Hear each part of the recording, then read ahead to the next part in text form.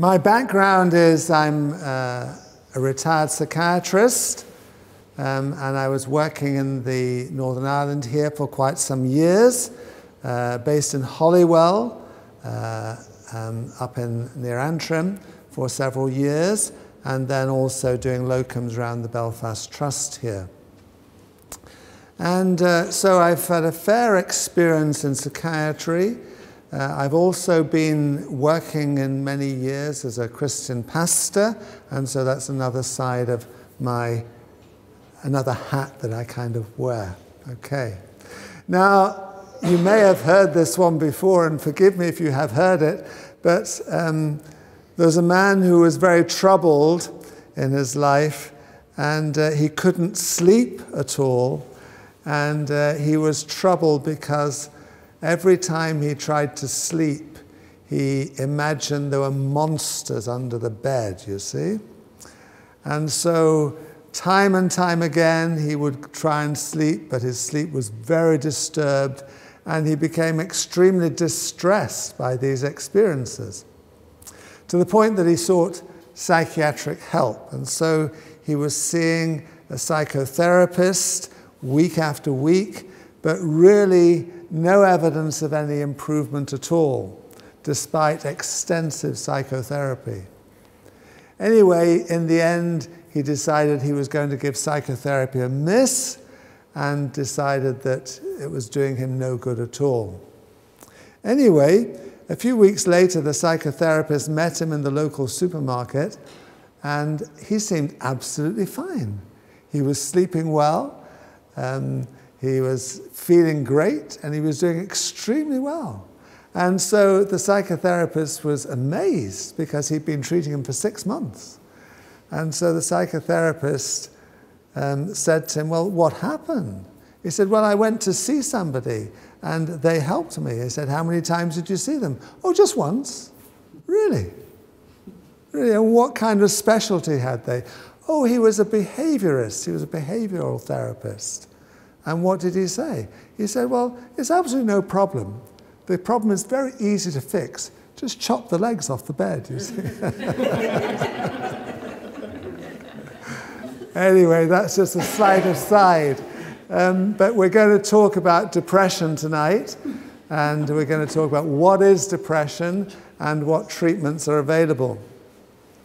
Of course, depression can present in different ways. One lady said it was like this. She said, I felt as though I was in the midst of a great thick balloon, and I was stuck in the middle of it. And the harder I pushed out against the skin of the balloon, it pushed me back in. You see, she was expressing the fact that she felt trapped in this depression. Another lady said that as she was putting the children to bed, she was reading a bedtime story. And as she read that bedtime story, she read the same page three times. And she began to realize that her concentration was severely impaired. And as a result of that, she sought help and she was found to be suffering from depression. Of course, depression affects a lot of famous people too. Abraham Lincoln, you remember, the 16th President of the United States, was severely affected by melancholic depression. But still, he was able to give leadership to the country at that very crucial time. In other words, he was able to overcome his depression to a certain extent. Other famous people have suffered from depression, like Winston Churchill, for example, who called it his black dog. And he found that his steps were, as it were, dogged by depression. And of course, he tried to deal with it by, in effect, drinking quite heavily. Now, you'll know this probably, but drink and mental illness don't go well together. And there are several reasons for that. Firstly, if you drink on top of mental illness, then you're more likely to get addicted to the drink. Okay. Secondly, of course, um, drink itself is a depressant. And so, if you take drink on top of being depressed, you're likely to be more depressed. And then, of course, thirdly, drink causes you, if you're a bit under the weather or a bit down, it causes you to sometimes behave erratically and you might do things that you wouldn't otherwise do. And we know, for example, that between a third and half of suicides have people, people have been drinking before they ended their lives. So alcohol is a bad idea. Other famous people obviously have suffered from depression as well. Catherine Zeta-Jones, she checked into a clinic, um, the actress, uh, you know, suffering from what we call bipolar uh, disease. And I'll come on to what that means in a few minutes. So we know that depression is fairly common, um, and we know also that famous people can be affected by it. Now, what I want to say is that the information I'm going to give here is really um, for this session. You know, I'm not here to treat you, all right, because I'm now retired from clinical practice, and so I'm not actually going to try and treat anybody tonight, but I am giving information that I think will be helpful. Yes, okay.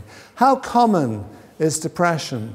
Well, it is very common. We might say that any particular time, 7% of the population might be suffering, or 6% up there, 6% might be suffering from depression in Northern Ireland. And so that would give a figure for the country of about 100,000 people, which is a very large number. What is also interesting is that it's more common in women than in men. So we might say that one woman in four might be suffering from depression at some stage, compared to uh, one man in 10 requiring treatment for depression at some time in their lives. Now, what is interesting is that when you look at the figures for suicide, and of course, depression is a very common reason why people might die by suicide. When you look at the figures for suicide, you find there's three times as many men dying from suicide as women. So, on the one hand, we've got twice as many women suffering with depression. On the other side, we've got the suicide rate three times as high in men as women. Why would that be? Have you any ideas? Men don't come forward and speak about their problems or seek treatment. Yes, thank you. Men don't come forward and talk about their problems or seek treatment. Thank you very much. That's absolutely true. Men tend to hide their problems. They want to deny that they have a mental problem. They want to hide away that factor in their lives. Or they might go down uh, and drink heavily and perhaps talk about it with their mates, but they generally want to hide things. They don't find it easy to seek medical attention and medical help, whereas women, of course, find it much easier pick up the phone and talk to your friend, you know? So that is one of the reasons, and I'm sure there are other reasons too. Now, what I want to do now is talk about what is depression, what really is depression, and how can it affect us. And really here, uh, I want to look at what the core things are that make us make a diagnosis of depression. Because you see, people use the term relatively loosely. They say, well, I'm depressed, I'm down. And what they mean by that often is that they're feeling low and down, maybe for a day or two or 24 hours. And in a sense, that's what they mean when they say, I'm depressed. However, in clinical or medical terms, we tend to think about it rather differently. Now, in the clinics I used to run, I would often say to people, you know, uh, how many days in this last two weeks have you felt pretty low and miserable all the time? And if they said, well, two or three days, doctor, or, you know, just one day, I would be concerned, but not perhaps as concerned as I would be if they said they were low and down pretty well every day, or at least seven days out of the last 14, and they really felt low and miserable most of the time. A second key question I would ask is Are you still enjoying things? What motivates you? What gets you up and gives you a desire to do things? What is your motivation? In a sense, are you still enjoying things? And usually, the person who's depressed will have lost all sense of enjoyment, all sense of uh, enjoying the things they usually enjoy, like whether it's going for a walk or watching a film or something like that. Their, their sense of enjoyment would have gone. And so, those are two key questions. Another area is that people with depression, they're often slowed up. They're walking slowly or they're looking at the floor. And I used to say, uh, you know, that I could often tell if it was somebody I knew quite well coming to my clinic, I could tell actually that they were depressed on the way down the corridor to see me because they would just look differently. Their voice would be low and down, their head would be bent forward sometimes. Sometimes they'd had obvious loss of weight, or at other times they might have actually um, not be caring for themselves properly. You could tell from the way they were dressed or the way they presented themselves. Sometimes they just looked down, their corners of their mouth would go down, they're looking at the floor, that kind of picture. And so, in a sense, you could tell that on the way into the office where I would see people. And then, of course, you would also find that actually there were several things that you would look for before you made the diagnosis. And some of those were physical things. For example, as I say, somebody might have lost a considerable amount of weight. Occasionally, people can gain weight, but usually there's quite considerable loss of weight. Secondly, the appetite will have gone, energy uh, will be way down, and the sleep pattern will usually be affected. Often we, people will wake up early in the morning, and at those times when they wake up early, that's the time when often they feel lowest and when even suicidal thoughts might be going around in their minds. That's the time they really struggle. So, broken sleep, but particularly early morning awakening, is a feature loss of energy, loss of motivation, and often people will just want to withdraw. They will just say, I want to be by myself. And they, they stay in the same room looking at the four walls, that kind of picture. And so that is what you're going to get uh, in depression. Sometimes they're very slowed up. Occasionally, if they're elderly, they can be agitated and shaking and racing around. That can also happen. And as I say, no energy, often tired all the time. And obviously, in that condition, then you'll want to carefully examine their mental processes. What are they thinking about? You know, what are they imagining? And often you'll find that people are feeling extremely low, extremely down, and you might begin a, a series of questions. You know, how low are you feeling? Are you feeling very low? You know, is life worth living? Hmm. Have you had any thoughts of harming yourself? Have you had any suicidal thoughts? And perhaps you might then go on to see if there's been any suicidal planning. All of that would be important. Of course, you don't start there because you want to establish a rapport, a relationship with the person first before you ask those probing questions. But on the other hand, if somebody's depressed, you want to ask those questions so that you know exactly where somebody's up to as well as low self esteem and feeling really bad about themselves, often you get also a picture of guilt, and somebody will come up with feelings of guilt.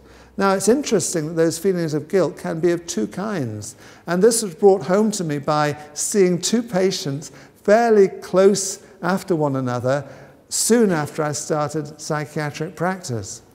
And one of them was a man that I saw on the ward, and I asked him how he was feeling, and he, said he was the worst person in the world. And I thought, Really? You're the worst person in the world? He said, Yes. Are you absolutely sure there's nobody worse than you? yes, he is the worst person in the world. I said, Well, why? Well, he says, 20 years ago, he said, I made a mistake on my income tax form. Oh, really? And that makes you the worst person in the world? Yes. Could I shake that belief? No, I could not. What he had really was a depressive delusion. He imagined he was the worst person in the world, but of course he wasn't. And so we might say that's a kind of false guilt.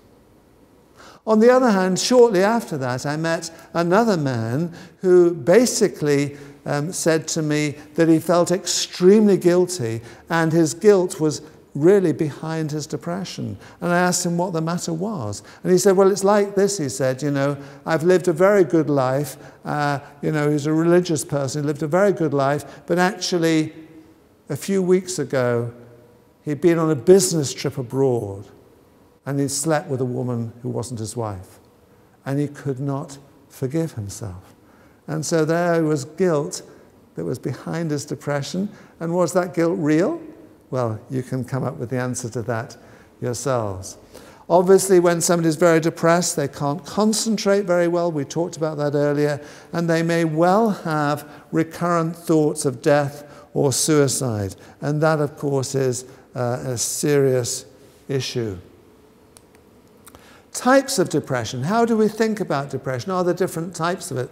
Well, obviously, the type I've mentioned is the type that is most common, where basically, I hope you get the idea, feeling down and miserable all the time, not eating, not sleeping, pretty miserable, low self esteem, don't want to do anything, etc. That's the basic type. On the other hand, you find that some people have that kind of depression, but at other times they have what is called a manic phase.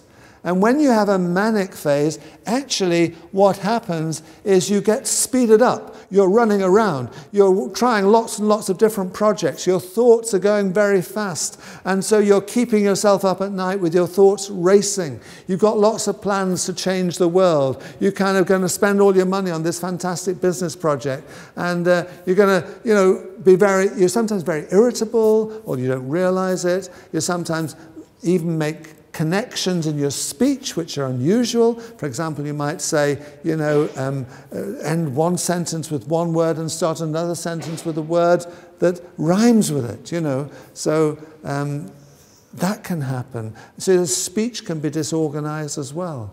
And in that very erratic state, the thing is this people in that state, they don't understand that they're ill, they have no insight. And so that's the problem, you see. Somebody's doing all that kind of thing, and if you let them carry on in that state, then they're going to wear themselves out or do something silly, like run around half naked or do something, you know, that would let yourself down or start this business venture that's going to lose all your money overnight. So you cannot allow somebody to stay in that state. And that's but they don't have insight. Well, sometimes you have to say, okay, you need treatment, and you need treatment in hospital in that kind of situation.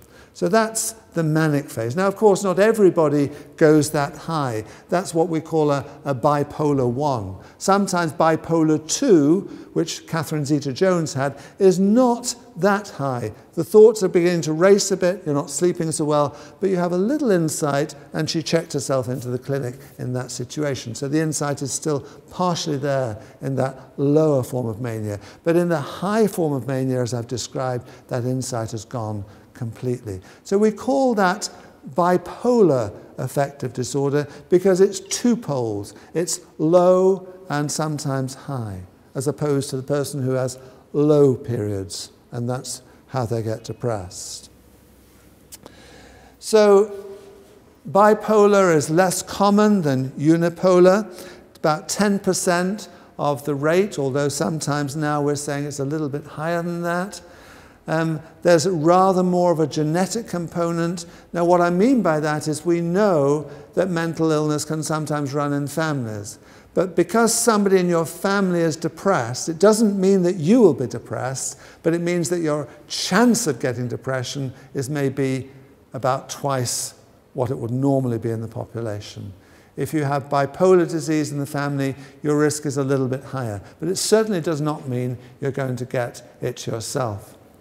Another condition people sometimes talk about is seasonal affective disorder, and in that, sometimes people living close to the North Pole tend to get this more often. When the nights get very long and the days get short, in the evening time, you might get the depression kicking in. And so you can sometimes predict it coming on a certain time of the year, and sometimes if you start antidepressants or light therapy before that time, then actually that can be helpful in sometimes preventing the onset of that seasonal affective disorder. So that's just a little bit about the types of depression. Well, what leads to depression? And here, obviously, in many of these things, I'm giving you a slightly condensed version. You're aware of that. Because to go into all the causes would be here all night with just on this one subject. But really, there are two uh, things that can be particularly, uh, uh you know, not necessarily causes, but related to depression. So, for example, in your childhood, if you tend to be in a situation where um, you have loss of mother, loss of father, loss of parents, uh, you have difficulties with um, uh, overprotective or non caring parents, if you have physical or sexual abuse, uh, then those things can uh, be factors. Also, I've mentioned that depression is commoner in some families than others. Also, we know that personality is involved, and those who tend to be anxious or those who tend to be obsessional or perfectionistic, the risks are higher. And what is happening here is those childhood kind of experiences, they're having a subtle effect on the brain, a subtle effect that can then kick in when other things happen later in life. It doesn't again mean you're going to get depression, it just means the likelihood is there a little bit more if some of those factors are there in childhood. And of course, also what we know is that stressful events, often connected with loss, are actually very key in depression. So, for example, um, on my ward, I would often have uh, more elderly people, and I can remember one or two examples. One lady was desperately depressed because her husband had died. And it wasn't just a bereavement reaction, which you can get, a grief reaction. It was more than that. She was actually, frankly, suicidal and really, really very, very low indeed. And she needed hospitalization for her own safety and treatment. Again, people can uh, face depression through loss of other things. So, again, people who had had a stroke or cancer or losing their eyesight, these kind of physical problems, would often push them into depression. Of course, sometimes it's other factors loss of other key things. It can be loss of a key relationship by marriage or uh, divorce or separation or something like that.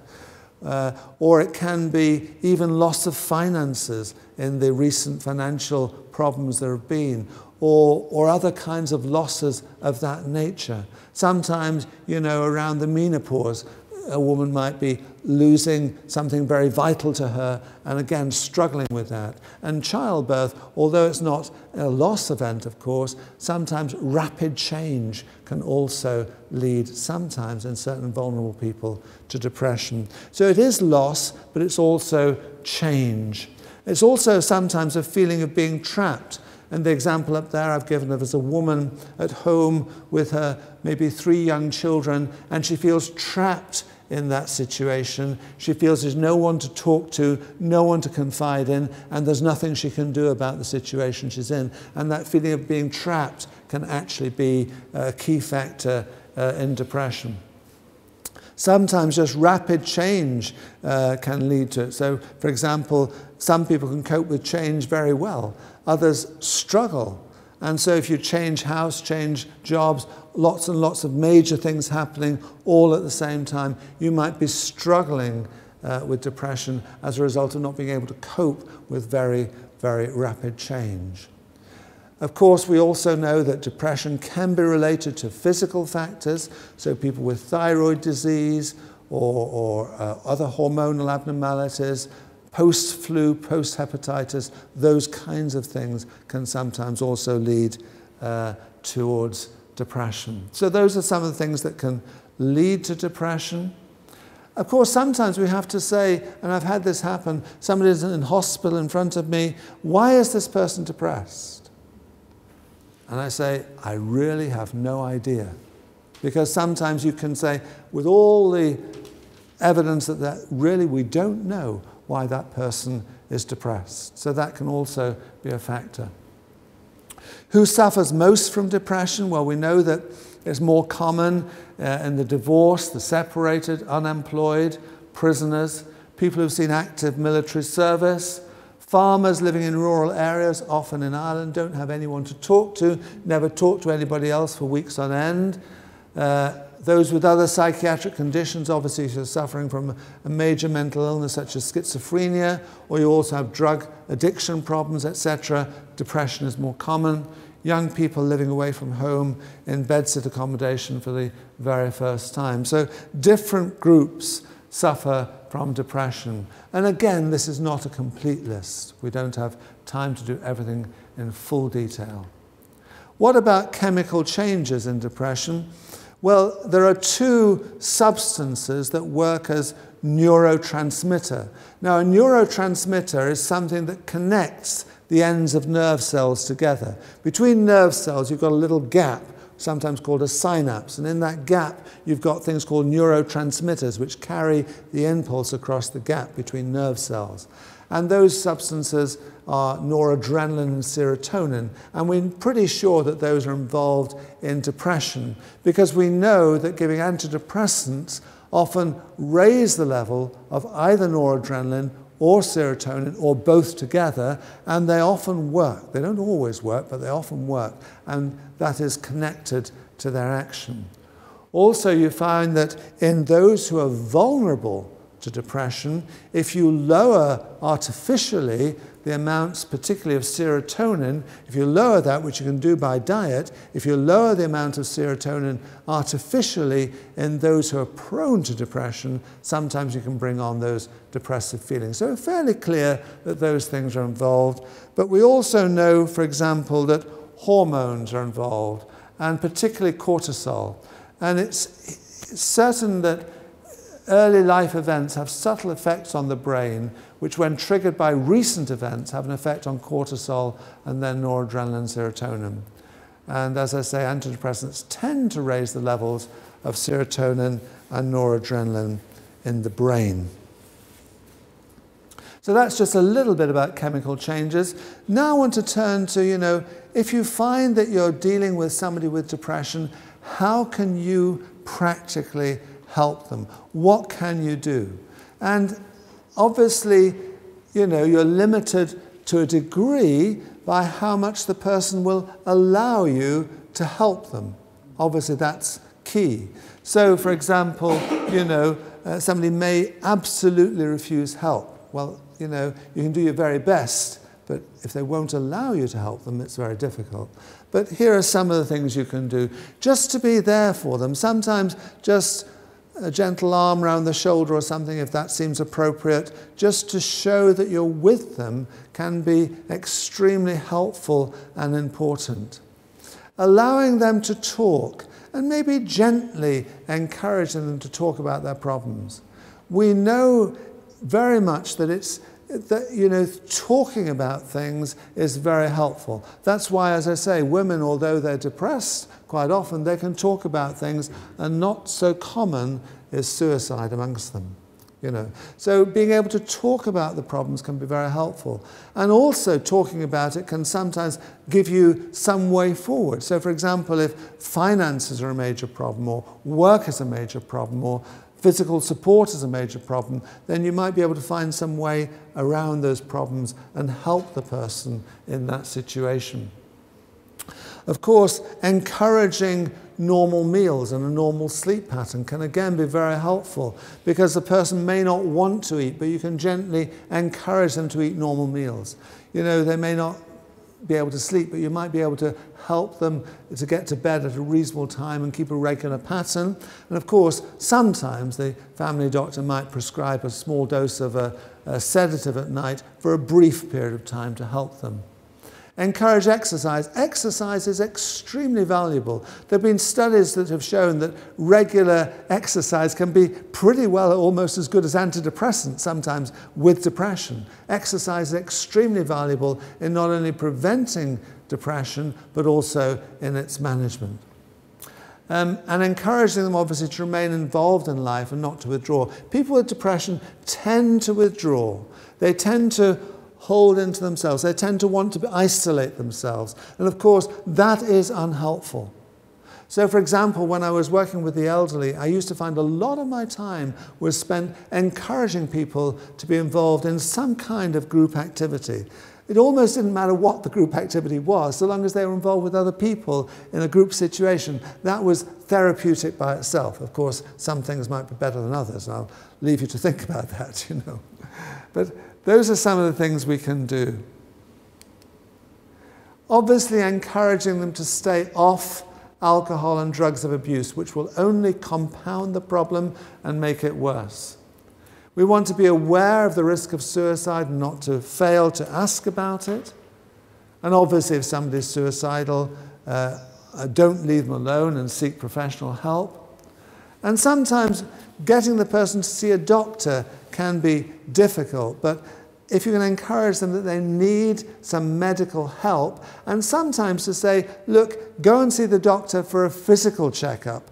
You know, you look a bit run down, you've been losing weight, get a physical checkup, and, you know, encourage them to see the doctor who may be able to spot that depression is the problem. Don't blame them and say you shouldn't be depressed. And don't say, pull yourself together. That doesn't really help. If they could pull themselves together, they would have done it by now, you know. So that doesn't really help very much if you say that kind of thing. So in severe depression, the person will need help from a doctor. And, you know, they may need to be in a safe place. Why is professional help necessary? Well, you see, there could be an underlying cause for that depression. You know, they may have had uh, some other physical illness, or there could be something that underlies that depression that the doctor is able to uh, work out and diagnose. So that's important. Secondly, the doctor can be able to say, what is the depth of that depression? How bad is this depression? Because actually, if you can answer that question, it will help you not only in terms of how to help the person, but also it will give you an idea as to how what arrangements need to be made for their own safety.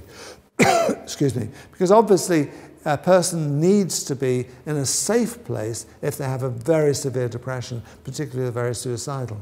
Of course, into that equation comes what support is available for them. So obviously, I've been around many people's homes, who, seeing people who are very depressed in their own homes.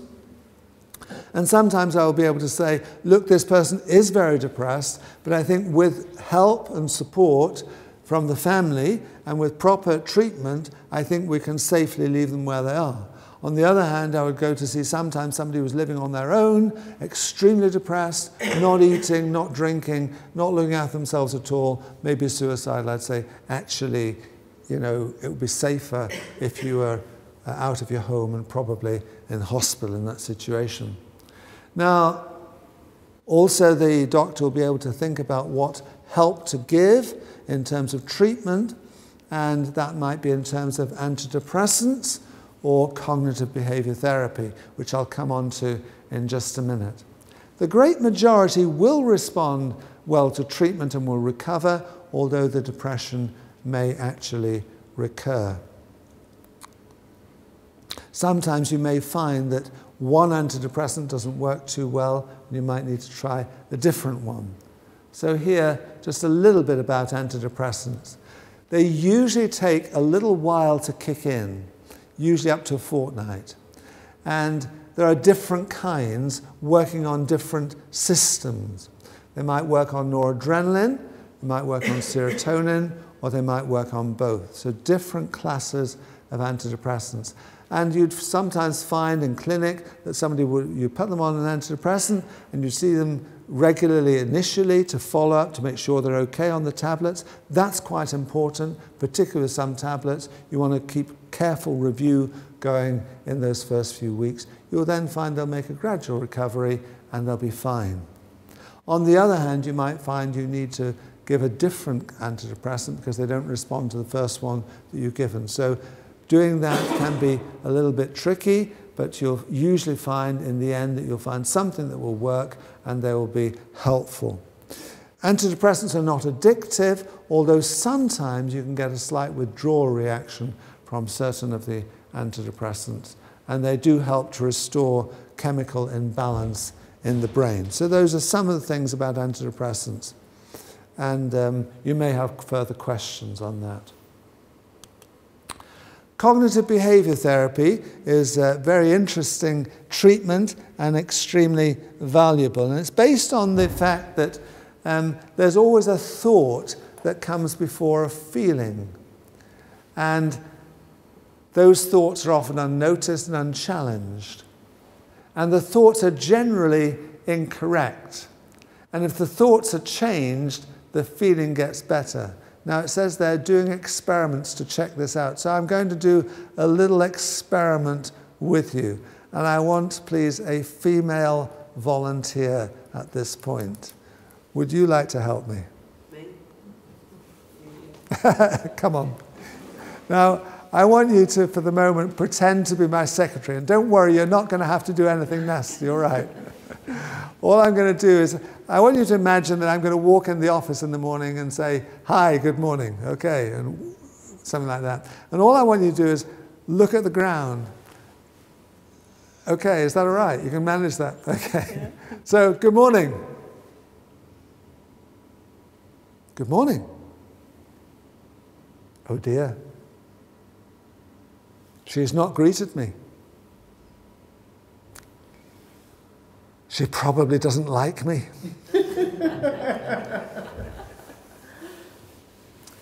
she probably thinks I'm a bad doctor. Maybe I am a bad doctor. Maybe I should resign my post and do something different. Now, can you see what I've done? What should I have asked her?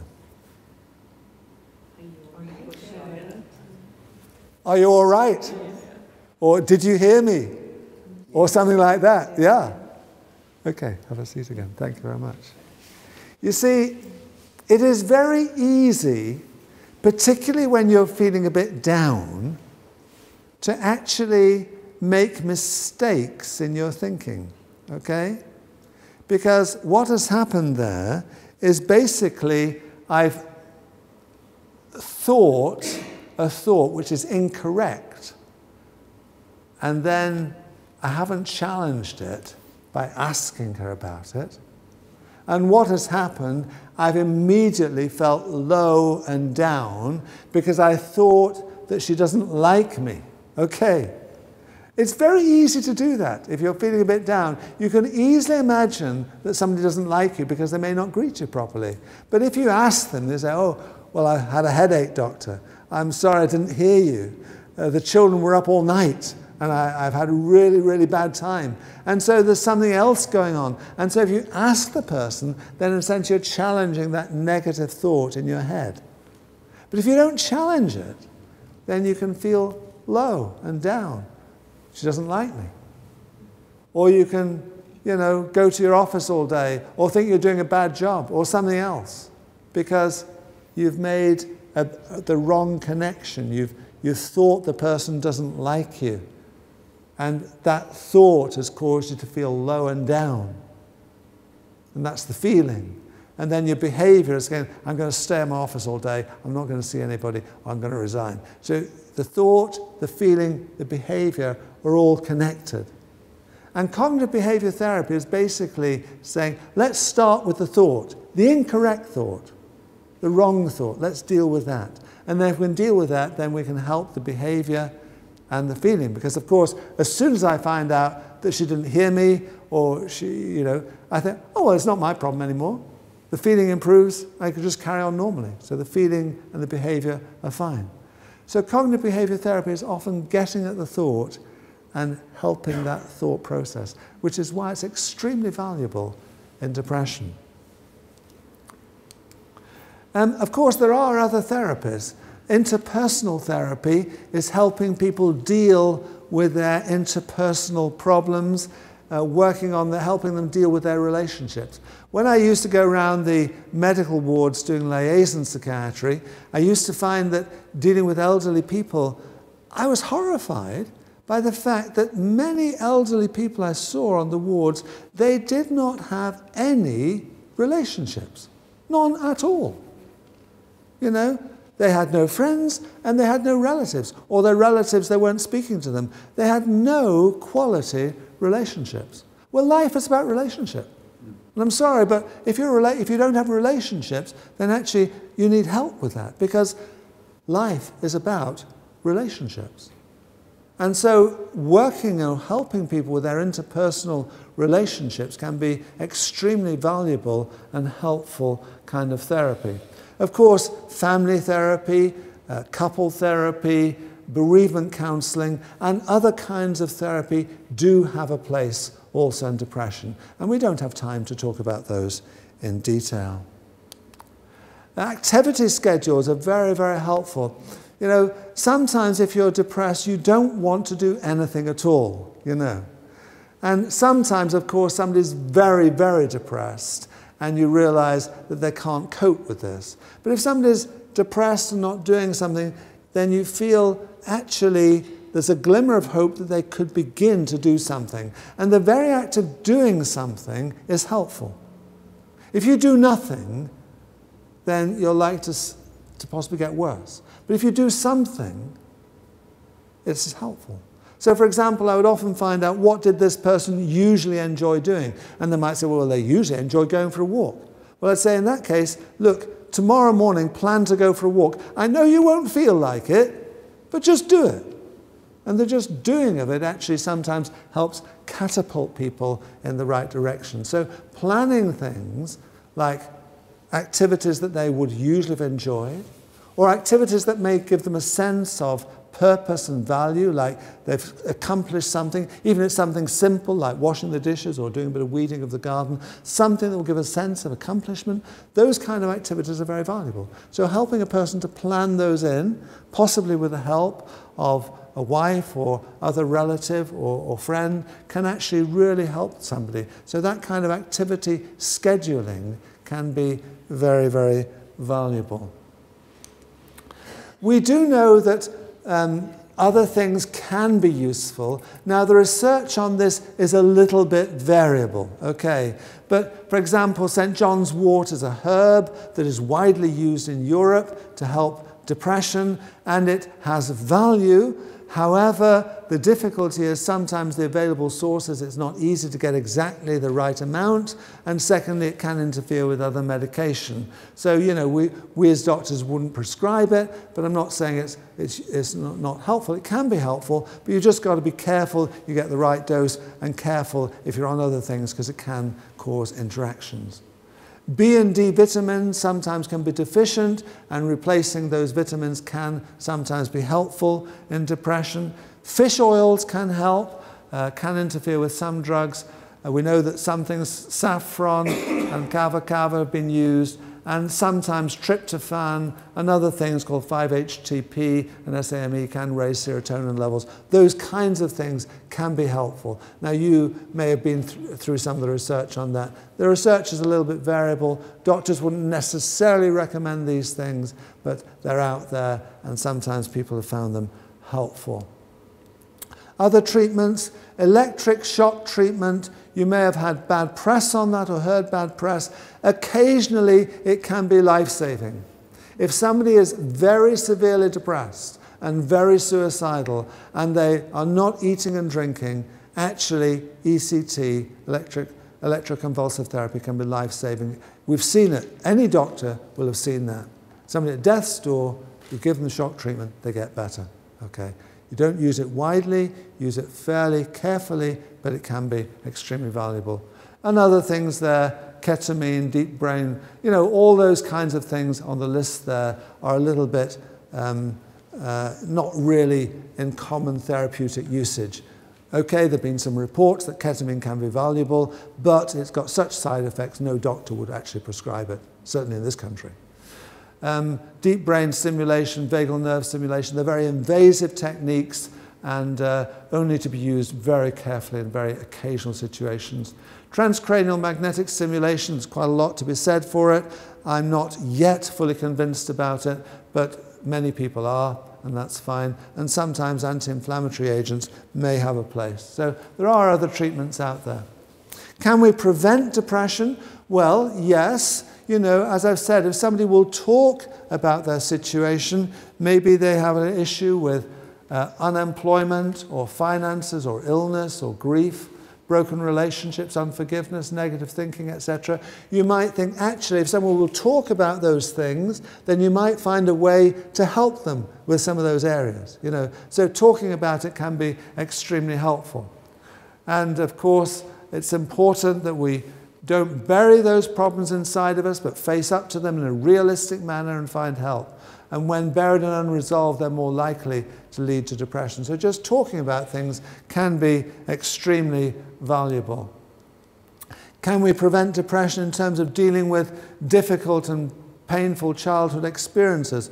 Well, the answer there is you might be able to help those things, but you don't do it when somebody is severely depressed, because actually you can stir things up and make things worse. But if somebody's in a recovery phase, you may then feel you want to try and approach some of those areas. It's not easy, it's quite uh, difficult work, but there are ways of accessing that and helping them with it. If somebody has a, a personality where they tend to be anxious and perfectionist or obsessional, then the person may need to understand those tendencies and find a way of dealing with them. Um, I've talked about dealing with negative thoughts, checking those against reality, and of course, basic things like developing and maintaining healthy relationships, exercise, balanced diet, healthy lifestyles, all of that is very, very valuable. And of course, a few resources there that can be useful. Lifeline is very helpful in the acute situation. Aware Defeat Depression, Samaritans, and also a lot of very, very helpful booklets that you can download from the Royal College of Psychiatrists website on all aspects of mental illness, and you can make sure you're well informed uh, in those ways. CBT is available online. Some people like to try and do CBT online, and it can be done, although often it's better done with the help and support of a therapist. But there are a few things out there, a MoodGYM fighter, beating the blues, Calypso, Myray, and Living Life to the Full is a very useful site. And what these sites do is they take you through things yourself and you are able to answer questions and do some work online to help you deal with your issues. Although I say that often it's much better done uh, with a therapist. And finally, in this session, I just want to talk briefly about some work by Professor Patricia Casey, who's based in Dublin. And what she has done there is she's looked at 300 uh, papers that connect together uh, religious practice and mental health. And what she's done in those 300 papers is she's looked carefully at the connection between religious practice and mental health. And what she's done is she's found that those who regularly practice their religious faith show clear benefits. They regularly practice, not just believe it, but regularly practice their religious faith. They show several clear benefits. They actually live longer, their marriages hold together better, they have less depression, less suicide, they cope better with bereavement, and young people do better in terms of less drugs, alcohol, and other problems uh, in, in, that area. So six clear benefits. And that is produced by the Iona Institute, and you might like to have a look at it. I've got a copy on my desk there. Don't take it away, it's the only one I've got at present, but it, it's produced by the Iona Institute, that research, and it's very, very valuable. And also, she basically says that if religion is practiced uh, by um, a large number of people across a population, then its benefits will accrue to society as a whole. So those conclusions are very interesting uh, from that kind of work and study that she's done. Okay, well, that's it for this session, except that if you've got one or two questions, I will do my best, if I can, to answer them.